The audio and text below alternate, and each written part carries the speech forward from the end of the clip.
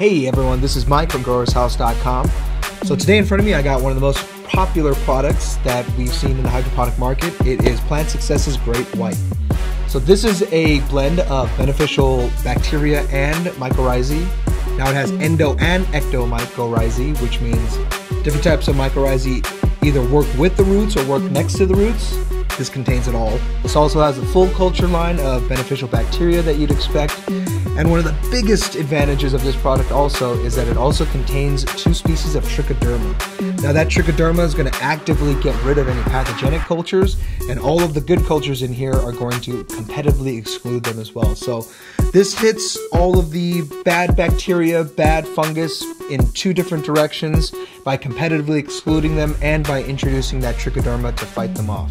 This is a great product. Like I said, it's one of the most popular products that we have. Comes in a variety of different sizes. There's a 1 ounce, 4 ounce, 8 ounce, 32 ounce, 5 pound, and 25 pound size.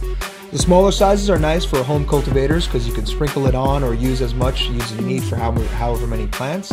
If you're a large scale cultivator, you can get the 25 pound to make sure that you have enough for all of your cultivation throughout its entire cycle.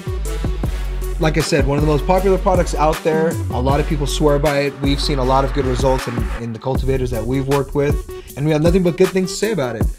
This was Great White by Plant Success, one of the most popular and one of the most effective inoculants you can get for any type of plant out there, and we hope you try it out. Thanks for watching. This was Mike with GrowersHouse.com. Remember to keep on growing, and we'll catch you on the next one.